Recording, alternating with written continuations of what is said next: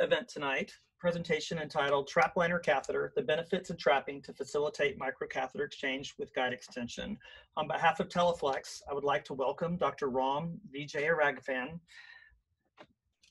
Dr. Vijayaraghavan completed his medical school in 1999 and subsequent, subsequently internal medicine in 2003, with cardiology training in 2005 at the University of Toronto. In 2007, he finished a two year fellowship in interventional cardiology and cardiac magnetic resonance imaging at Sunnybrook Health Sciences Center. He has published research papers in both advanced cardiac imaging and coronary intervention, with particular interest in spontaneous coronary dissection. He developed the regional cardiac MRI program at Scarborough Rouge Hospital and currently serves as the director of cardiac cath. He has specific interests in the development of complex PCI, CTO, and intracoronary imaging programs in the community setting. He has a busy general cardiology office practice with Health Heart Institute in Toronto. First and foremost, though, he is a husband and father of three who loves tennis, surfing, and being outside whenever he can, whenever he can get outside of the cath lab. Please welcome Dr. Ram Vijayaraghavan. Thanks, Eric. Um, I appreciate that kind introduction. And thanks a lot to Teleflex for sponsoring me uh, to do this TrapLiner uh, talk. Uh, it's really gratifying to see so many people signed up and interested uh, in improving their complex PCI uh, practice, especially in these difficult times. So thanks everyone for joining tonight and hopefully we can learn something together.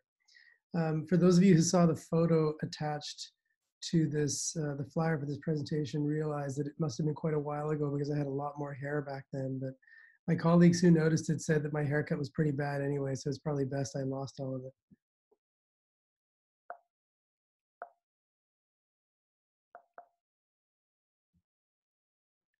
There we go. So here's the disclosure.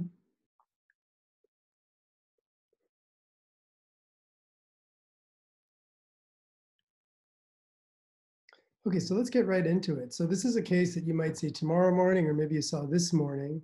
Um, let's say a middle-aged person with an acute coronary syndrome comes into your hospital and you're doing a radial angiography using the right radial approach in a six French system. And you see maybe minor plaque or calcified disease in the left coronary for medical treatment. And this you believe is the culprit. And you think that the patient needs to have this treated before you go. So how are you going to approach this lesion? So first of all, do you really want to go femoral, for example, we see heavily, heavily calcified lesion, complex, long disease. I mean, absolutely not. We want to try to stay as radial as much as possible, uh, especially with bleeding risk, especially with the contemplation of same day discharge procedures. But there are definitely going to be some trade offs here. And the first that you can see is lack of support. The right coronary catheter is, uh, is facing anterior. Um, you have multiple lesions um, and just imagine your wires it comes workhorse wires it comes down this uh, this artery. Uh, if you can see my mouse pointer it might get through this first lesion and maybe the second lesion but then you might need a different bend in order to get through the third lesion. And by the time you're in the mid vessel you're going to completely lack distal wire control and perhaps what you need then is a polymer jacketed wire. So how are you going to deal with this safely avoid dissection and get through this lesion? You might actually need to exchange your wire or even uh, reshape the wire that you're using. Um, and in order to do so, I would think about bringing a microcatheter into this situation to allow you to have better control over your wire and more options for your wires. Um, and then the second thing that we mentioned, obviously, is guide catheter support. So how are we going to do that in the radial setting? Well, the TrapLiner catheter is actually perhaps the first thing you should think about bringing up in this case because it's going to facilitate both those activities of complex PCI, microcatheter use, changing your wires, and providing you some guide backup support. So it combines the benefit of a guide extension for backup support as well as a trapping balloon. And we're going to talk about trapping in, in, uh, in much more detail. And all of this allows for you to exchange in microcatheters. It also allows you to maintain a six French platform, which is clearly radial friendly. Most importantly, what I'd like you to get a, away from this presentation, the takeaway would be um, trapping and the different ways of dealing with over the over the wire equipment on short wires because th this is indispensable tools for complex PCI, whether you use a trap liner or not. And trapping facilitates the exchange of longer over the wire equipment over shorter guide wires while helping to maintain your guide wire position. And so you, you have less of a risk of losing your wire position or excessively advancing your wire and perforating small branches. And I would think about bringing in trapping, whether it's trapline or otherwise, in any situation where you want to exchange wires, use a microcatheter, and you're using short wires, and particularly a trap liner if you also want guide catheter extension. So this may be a situation where you're planning a rotablator and you really don't want to wire with the rotafloppy wire, but you want to exchange out a trap, uh, a trapping uh, balloon or situation may be able to help you there. So these are some of the key techniques, and we need to be able to use all of these techniques, uh, not just the trap liner. We need to understand guide wire extensions, hydraulic removal, standard trapping, which is really important, and uh, trapping with the trap liner catheter, which helps to facilitate. So we all know about guide wire, uh, extensions. Everyone who's on this uh, uh, presentation tonight has used guide wire extensions. Um, you know, these are very helpful and we all have experience with them, but they're very cumbersome and they're not very friendly for the middle-aged interventionalist who's in denial about getting reading glasses. You need your fellow to be able to actually attach the wire to the hypotube. Um, and you often need two operators to handle this properly without losing your wire. So it's extremely useful, but cumbersome. I love this technique, the hydraulic removal uh, or surfing, or as it's known as originally, the Nanto technique. This is one that you really should have in your arsenal. And uh, the basic description is you pull back your microcatheter or whatever device you want to jet out or hydraulically remove back as far as it will go, obviously leaving yourself some safety wire uh, position proximally. You then attach either an indeflator or uh, we typically use a 3cc syringe full of saline, and then you just push on the syringe or inflate the indeflator. You do not pull back on the device because if you pull back on the device, you're just going to pull your wire out. If you push forward on the syringe, it forces fluid uh, forward and then jets backward your microcatheter and it surfs right out of the artery. You got to be prepared to catch it. If you push really hard, it's just going to come flying out and bounce off your goggles, but you can slow down right at the end. So one issue with this is that sometimes it can be difficult to maintain guide wire position. And if you think you've been in an artery for an hour trying to get distal wire position and you finally got there and you've got to pull your microcatheter out so you can pass a balloon or whatever you want, um, this is not the situation where you want to try that because it can be somewhat risky.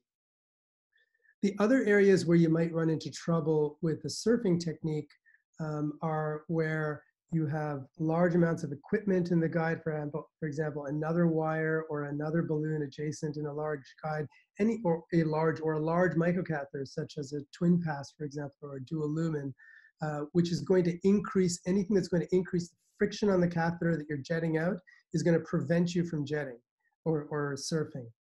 One of the situations that we've been in is we've been able to get about halfway and then we can't get any further. And that creates its own set of problems because now you've lost the proximal wire, you can't advance and you can't pull back. So ideally in that circumstance, so long as you have enough lumen, you could introduce trapping, which is the next and probably the most important technique for us dealing with over-the-wire devices um, in uh, short guide wires. And, and we're going to go through a video of trapping because I think it really is uh, the most important concept uh, and tool that you'll get out of this talk to add to your arsenal. So just to run through it quickly and then we'll show you the video. So you've got your microcatheter and wire across your difficult RCA.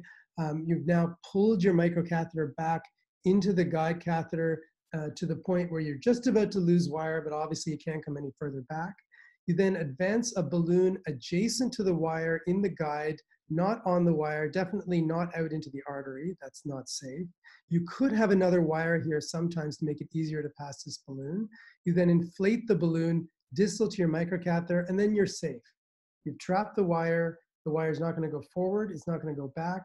And you can just pull out your microcatheter or other over-the-wire device. Now you can imagine as you do this with a balloon inflated distally, you're going to entrain air into the system. So beware, any form of trapping, whether it's trap liner or trapping with a balloon, um, you will entrain air and you need to bleed back appropriately once the trapping balloon is down to avoid um, uh, air embolism.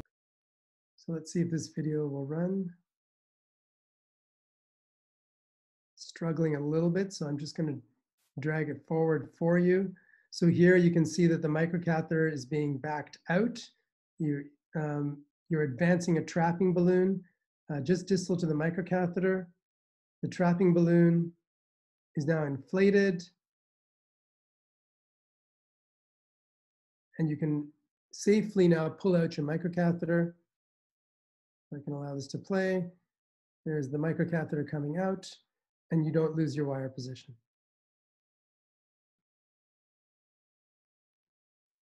Sorry about this.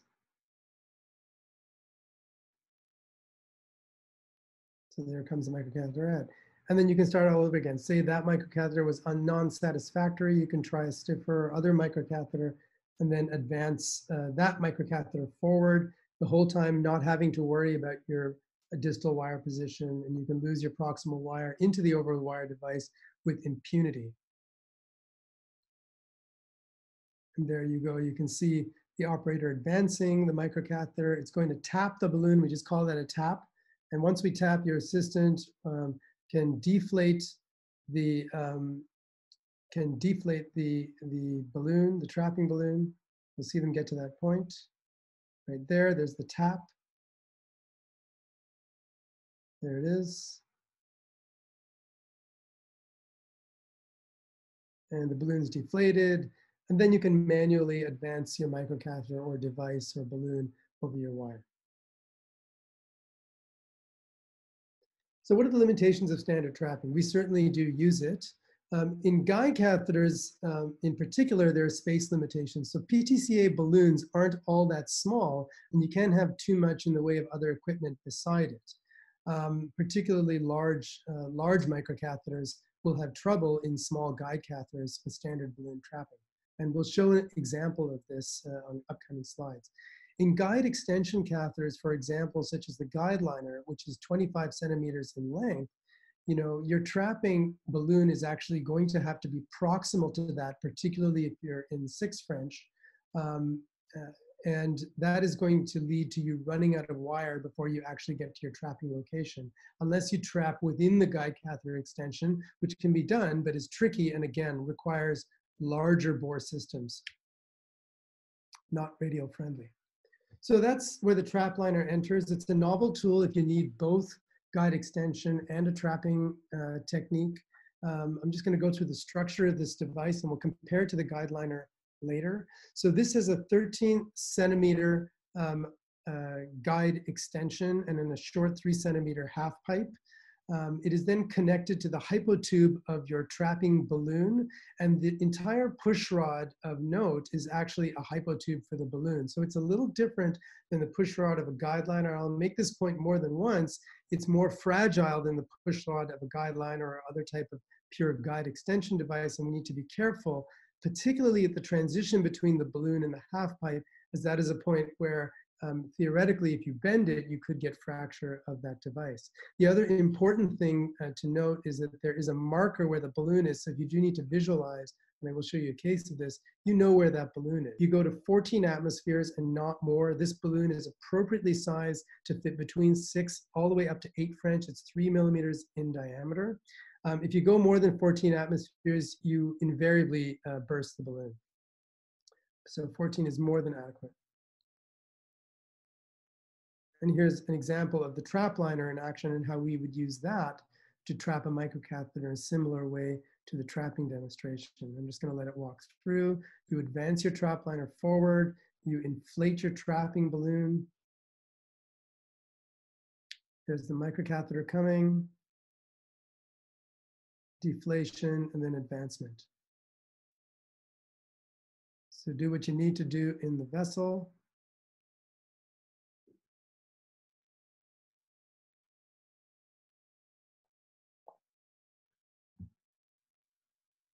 And you're able to safely pull out the microcatheter.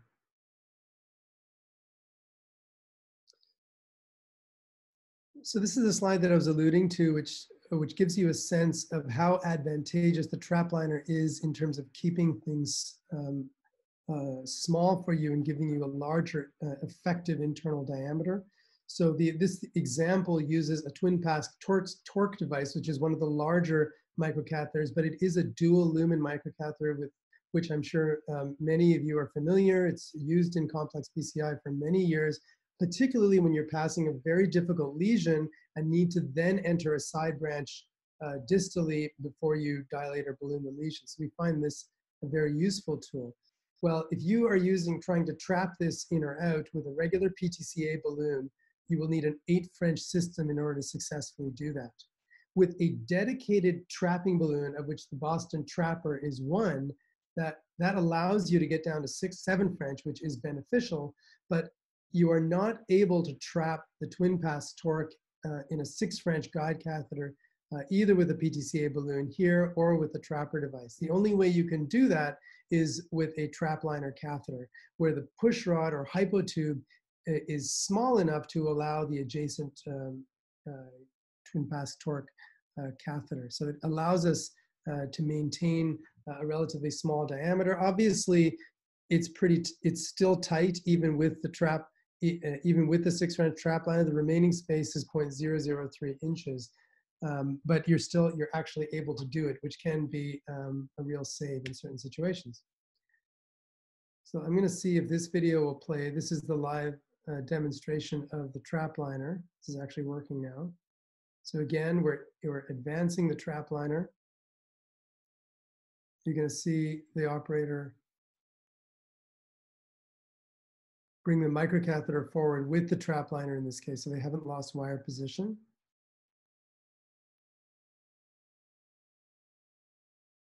There we go. So microcatheter is now coming back proximal to the trapping balloon in the trap liner. We inflate the trap liner balloon. So while this is going on, and, and you can see how it goes, it's very similar to the other video. I just want to talk to summarize some of the practical handling points of the trap liner. The first thing to note is because there is a vulnerable portion of the, of the push rod or hypotube between the balloon and the, um, and the extension portion of the device, we don't want to be any more than 10 centimeters into the vessel with our uh, guide extension in this case. Whereas with a regular guide liner, you theoretically could deep seat much further. You do not want to expose the vulnerable portion beyond the guiding catheter into either the artery or in the aorta. So we want to watch out for that. We don't want to ever put undue stress on the hypotube. So when it comes out of the patient, we're not rolling it up into a really tight coil. Ideally, we just place the device back in uh, to the housing in which it comes, or we just do one larger loop carefully avoiding any looping in the, in the location uh, of the balloon and beyond. Um, when you're advancing the trap liner in over your wire, use small bites, again, to avoid putting stress on the hypotube. Um, and then we comment on the issue around bleeding back in order to reduce the possibility of uh, uh, air uh, entrapment and air embolization. So, so, those are some of the proper uh, handling um, comments that I'd like to make. So what are the benefits of the trap liner? It enables over-the-wire catheter exchanges over short guide wires, so the guide wires that we all like to use. Um, it's also designed to offer convenience during the procedure. So, um, you know, you don't have to have someone holding the distal wire. You can lose the distal wire, uh, provided your trapping balloon is up. You can move actually much more quick, quickly in and out with your devices. Um, and it avoids the difficulties of trapping with standard guide extension catheters.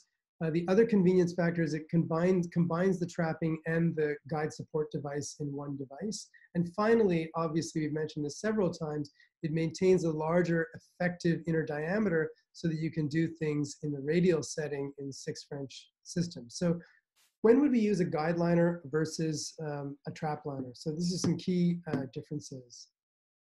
So as I mentioned, the um, uh, the, the guide liner is much uh, longer in terms of the guide extension. It's 25 centimeters, whereas the trap liner is only 13 centimeters. Um, the guide liner coating is actually a silicone coating, which is better designed for backup. It has more friction with the guide catheter and also with the vessel, whereas the trap liner uh, has more of a hydrophilic coating, so it can actually slide into the artery more easily and come out of the artery more easily, a bit more manipulatable that way. Um, so in situations where you really just need guide backup and you're not thinking about microcatheters, a guide liner is the way to go. Um, but obviously in situations where you need trapping uh, plus guide support, the trap liner is the uh, optimal device. But I would caution against using it in situations where you really need to deep seat the uh, guide extension uh, portion. So now I'd like to show you a couple of cases that we've done in recent months uh, using the TrapLiner. Um, so this is this case is a, a of a elderly lady is in her mid 70s. She's had previous left main stenting. She's relatively small. She has peripheral vascular disease. Uh, we're coming up through the radial artery here to fix an RCA, which we had left for medical therapy, and she had ongoing angina. Um, so I won't show you the the prior angiogram, but you will ultimately see the artery. But here we used an AL1 uh, guiding catheter and are unable to reach the artery. It's very challenging to get there. And we don't really want to go femoral in this case due to the issues of PVD. So we elected for a JR4 catheter, which actually uh, somehow managed to get closer to the vessel, and we were able to wire blind with a workhorse wire um, to gain access to a conus branch, which then allowed some stabilization of the guide, and then we could pass a second workhorse wire fairly easily distally into the artery, and finally we get a good angiogram. But you can see from this situation that we're gonna have a couple of major issues here. We have very little to no guide catheter support, so guide extension is going to be important in this case. And we also have a very calcified vessel with very complex disease, um, you know, that, that is also gonna necessitate support and may be challenging to wire. So microcatheter uh, would also provide additional support for the wire and allow it to pass through this calcific disease. So this is a case where we tried to bring up the TrapLiner uh, fairly early and due to issues with her subclavian, as soon as we brought the TrapLiner um, down to uh, the tip of the guide, it would back, it would change the configuration of the guide catheter and pull it away from the ostium of the vessel. So we didn't bring it in forward immediately. We just left it a little bit higher. Um, and uh, we still use the trapping function. So in this case, which is very difficult to see uh, because it's a fluorosave, you can see a microcatheter tip uh, getting to this point in the midway portion of the vessel. So we've got a workhorse wire across. We are unable to pass the microcatheter through. The trap liner allowed us to try a couple of different microcatheters. We initially started with a Finecross and then we tried a Caravel microcatheter, neither of which would cross, presumably because of inadequate support. And again, every time you bring the trap liner down, the guide's backing out. So um, we were able to do a hole in one where we put the microcatheter at that lesion and then wired forward with a rotafloppy wire. And this allowed us to do rotablator for 1.25 and then 1.5 per.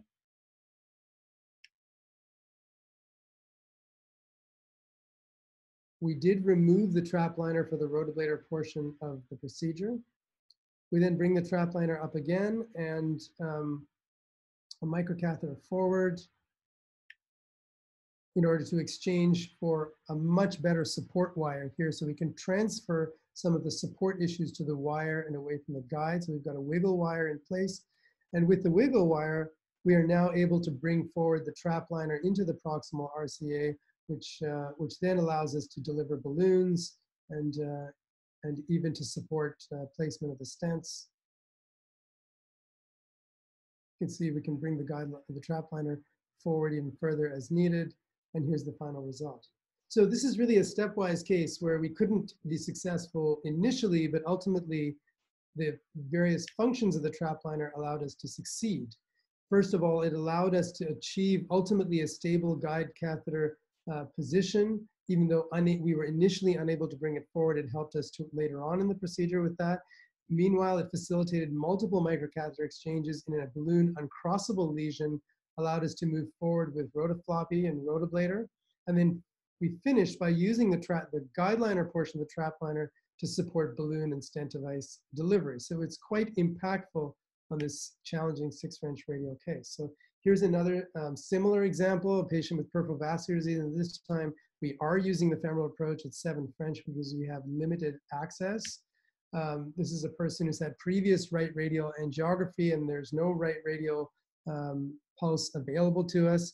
We're using the left radial to access the left uh, coronary, which provides collaterals uh, to this uh, very tight, uh, complex RCA. Um, we did try, again, Amplatz guide catheters, but due to the vertical nature of the aortic root, uh, and you can see the takeoff of the RCA. None were suitable. And we proceeded in a very similar fashion to the last case where we blindly wired into a conus branch, which then allowed us to visualize the lesion. And you can see that there is a very faint trickle of contrast through to the mid RCA. And there's a very tight lesion here, but there's very likely to be a microchannel that we can, we can cross through, hopefully with a more straightforward wire. But the challenge here obviously is going to be guide catheter support, requiring microcatheter, possibly changing wires. So again, a situation where I would think um, to try to bring in a trap liner.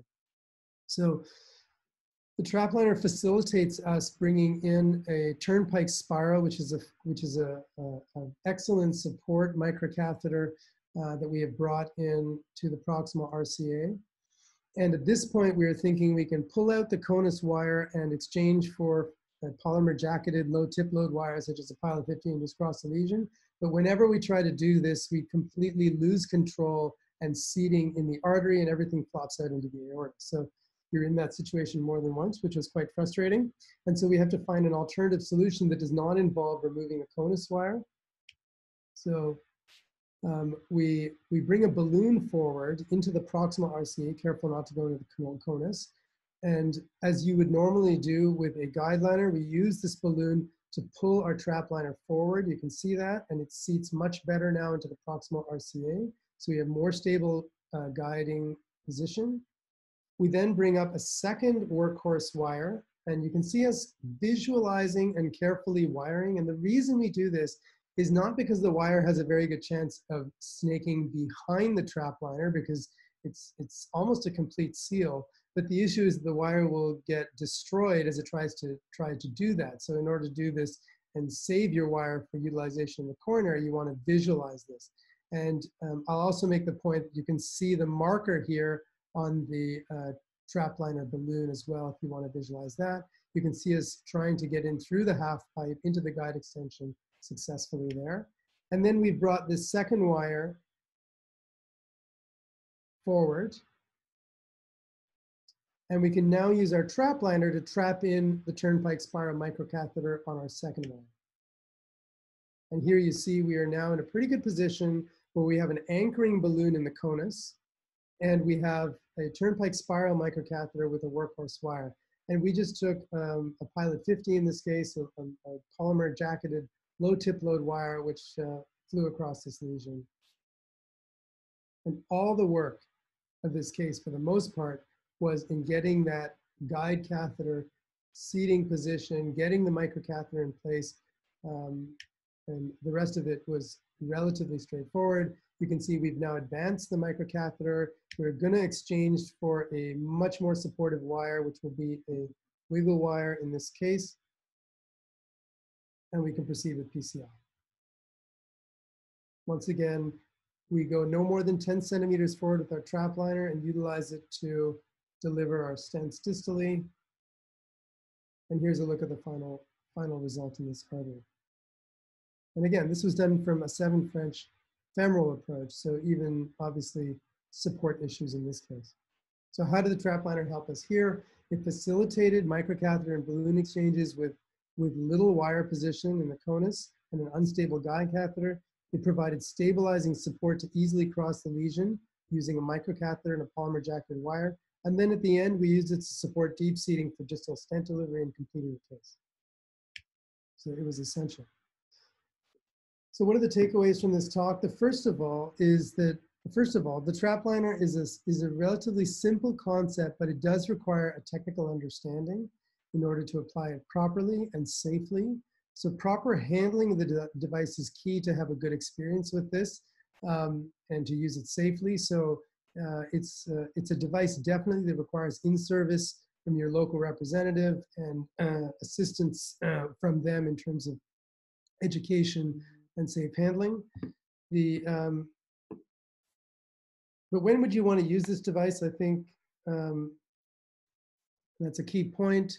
Anytime you have a complex or even a less complex case where you're thinking, I have a short guide wire I might want to change the guide wire tip or the wire itself when I want to use a microcatheter is a situation where you'd want to use a trap liner.